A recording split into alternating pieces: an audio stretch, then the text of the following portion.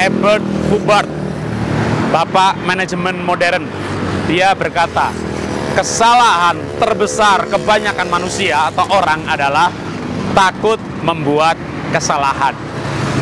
Karena saking takutnya membuat kesalahan lalu bertindak ekstra, sangat hati-hati. Akhirnya takut membuat keputusan, takut melangkah, takut salah. Yang penting adalah seandainya kita salah, maka kita belajar dari kesalahan, menjadi lebih bijaksana dari kesalahan yang pernah kita buat.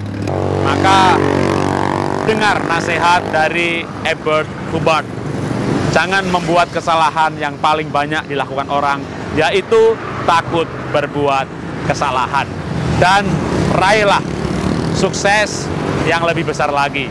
Salam dahsyat, luar biasa.